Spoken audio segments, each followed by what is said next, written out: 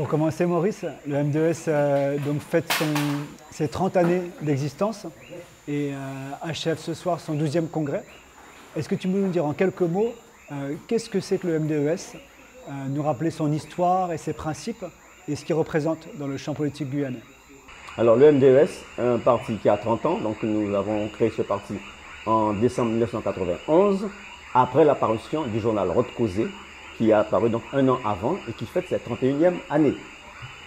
Euh, donc c'est un mouvement qui est dans, qui suit la ligne des mouvements indépendantistes qu'il y avait dans le pays, avec une différence.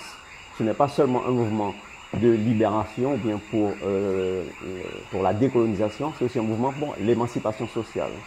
Donc ça, les, camarades qui ont créé ce parti étaient très impliqués dans le mouvement syndical et dans les mouvements sociaux.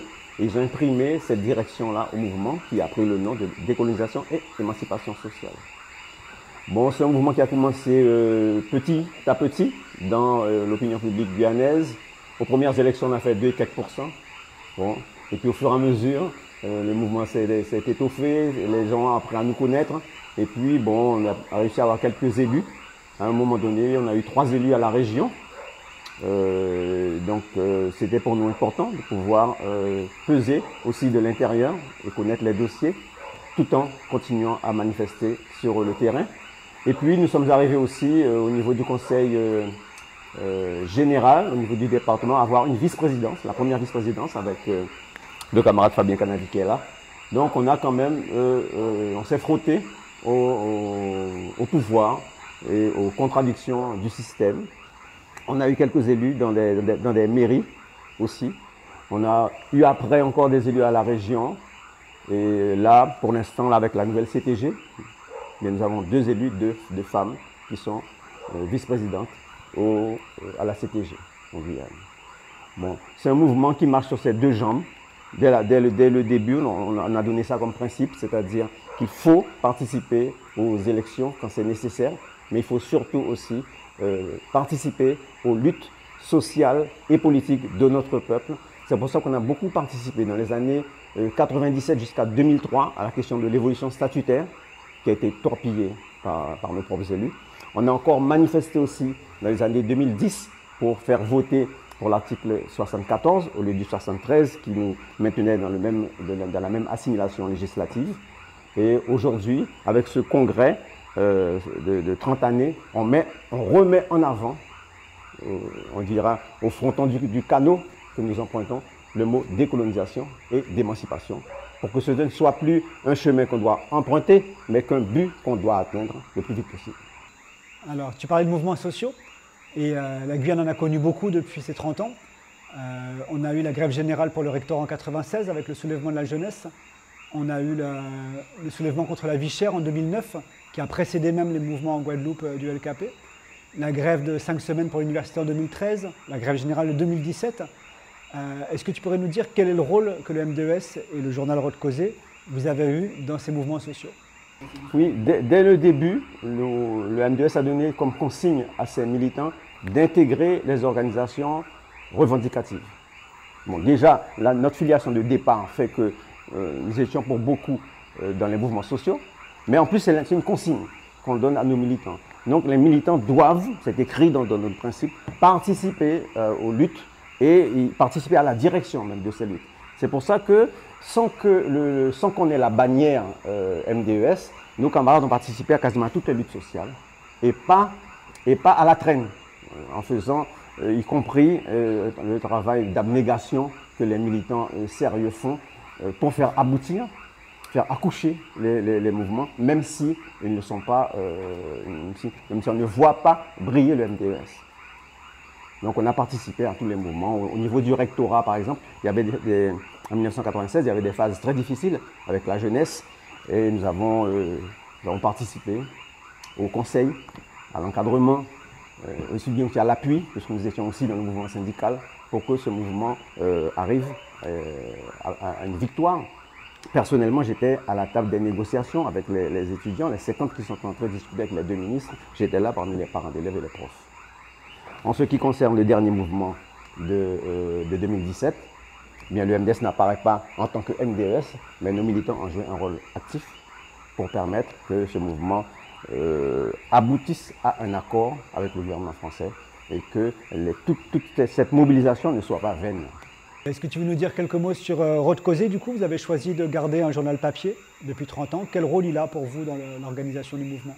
Dans, le cadre de ce congrès, les 30 ans, on a eu la, première soirée qu'on a eue, c'est la soirée consacrée au journal. Ça s'est passé à Saint-Laurent-du-Maroni. On a demandé à un de nos meilleurs journalistes hein, de, nous faire une, revue de presse. Et pendant, pendant 50 minutes, il a revisité les journaux, les 250, les 222 journaux que nous avons fait pendant les 31 ans. Et je peux dire qu'à la suite de, son exposé, on dira objectif, puisqu'il n'est pas membre du MDES, notre journal a participé à l'éducation politique sous toutes ses formes, économique, politique, même administrative, culturelle, ou même au niveau du sport, pour éveiller les consciences et donc amener aussi notre peuple à se mobiliser. Je me souviens de certains journaux où on annonçait, on annonçait qu'il y aurait euh, des mouvements, puisque comme nous collons à la, situation et comme dans toutes nos, publications, notre message c'est de s'organiser. S'organiser. Donc en fait, ce journal a participé effectivement euh, à la prise de conscience et à la mobilisation.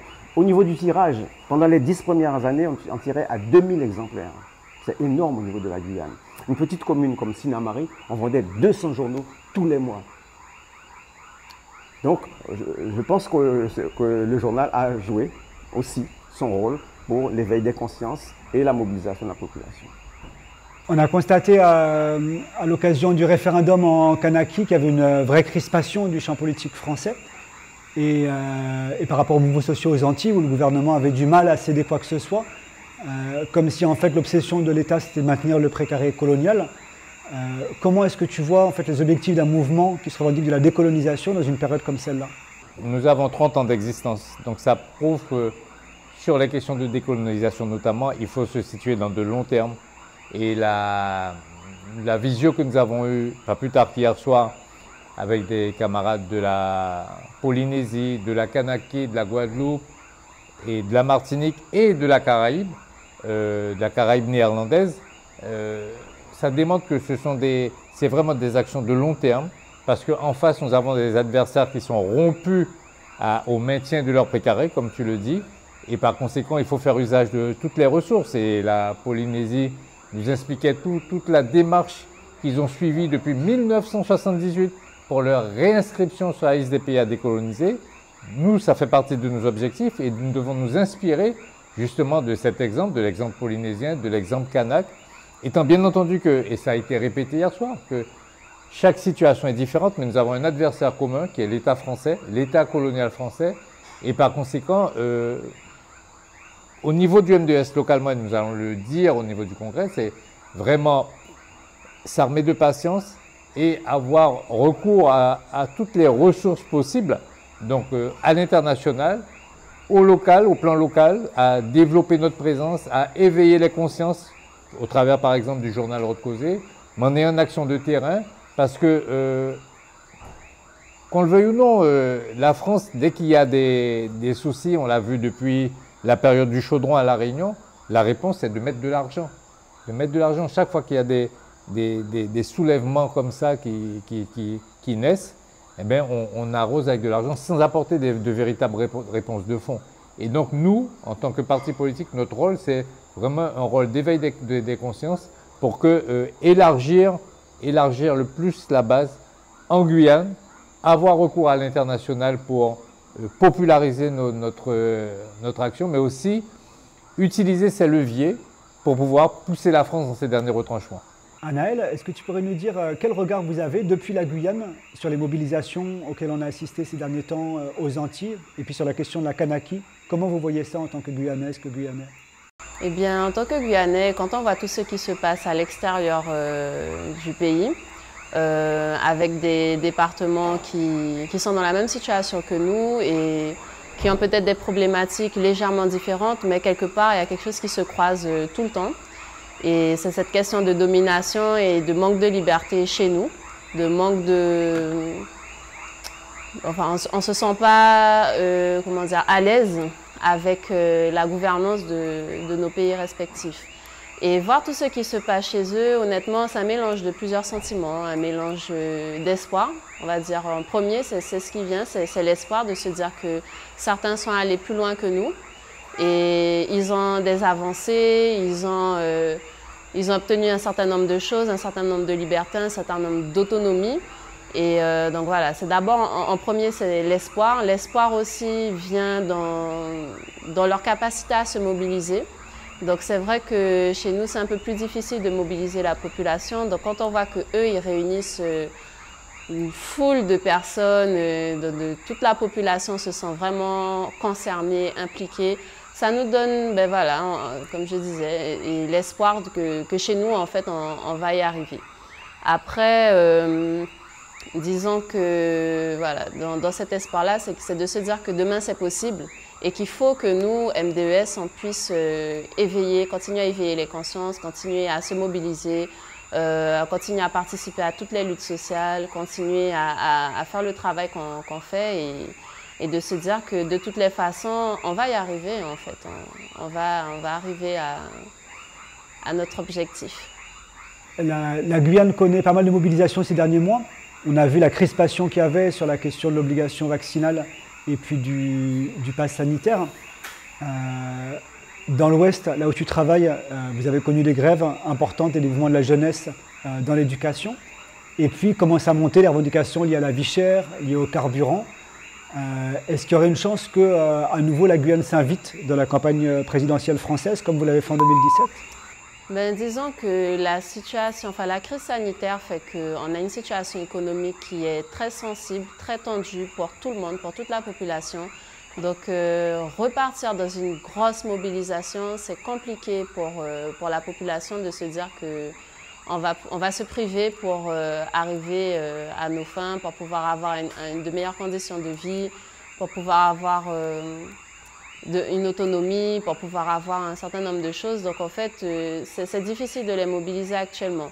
Donc euh, là, on a eu un mouvement, un mouvement social par rapport aux violences euh, qui sont, enfin l'insécurité qui, qui perdure depuis des années et des années. En fait, on va dire peut-être plus d'une fois par an, on a des mobilisations pour l'insécurité devant, devant les établissements, dans les établissements, aux abords des établissements. Bon, c'est quelque chose de, de répétitif.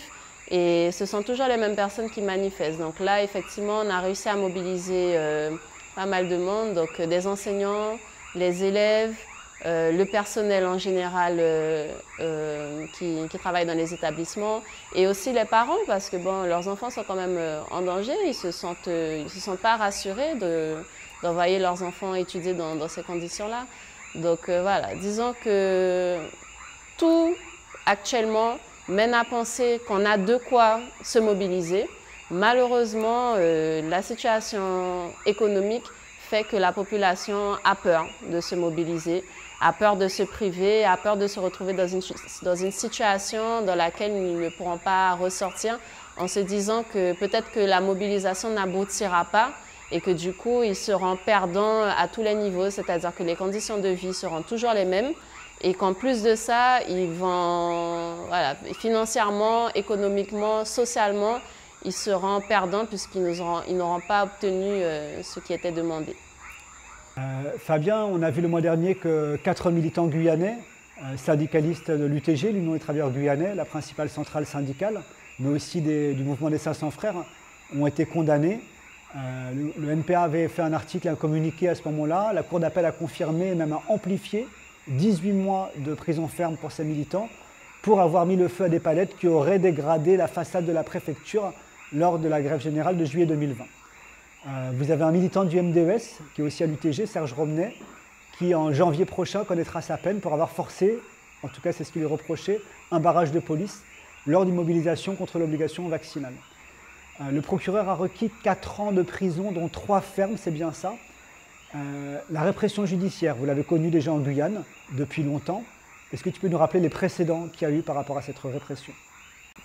Ce qui me revient en mémoire déjà, c'est le fameux complot de Noël, où là aussi euh, une dizaine de militants du MOGUID, le mouvement guyanais de décolonisation, avaient été incarcérés à l'époque à la prison de la santé et on leur reprochait de projeter un attentat à la cathédrale de Cayenne pour la soirée de Noël, pour la veillée de Noël.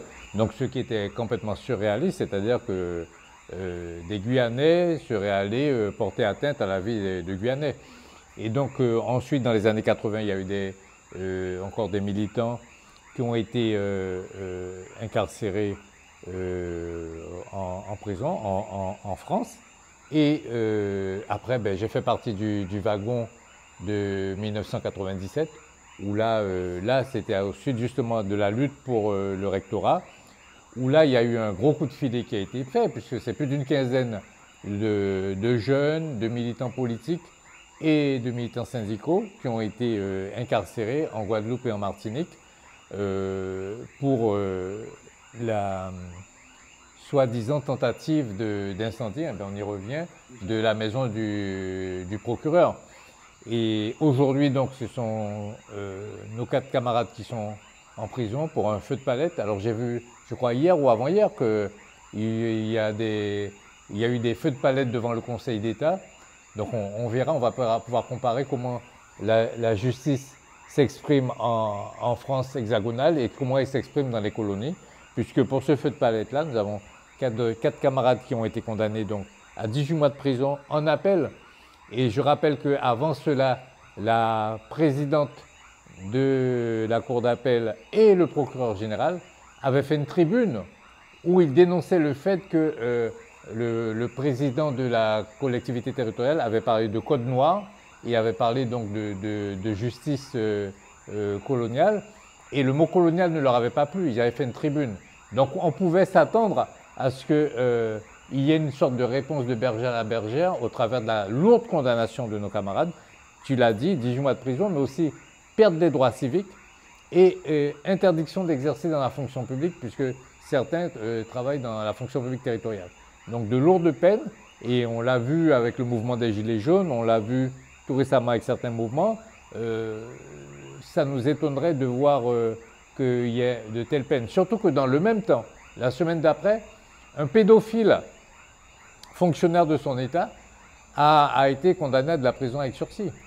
Euh, donc, euh, et ça a été dit par les avocats, la population ne comprend pas aujourd'hui ce qui se passe. Et nous n'avons pas la mémoire courte.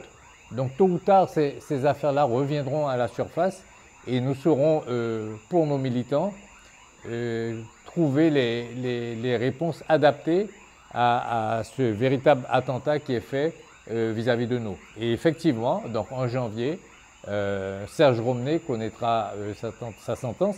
Et il est vrai qu'aujourd'hui, par rapport aux luttes euh, de résistance en Martinique, en Guadeloupe et en Guyane, la réponse de l'État qui est complètement dépassée, complètement déportée, c'est encore au travers des juges qui sont là pour quelque part maintenir à bout de bras un système qui est complètement délabré.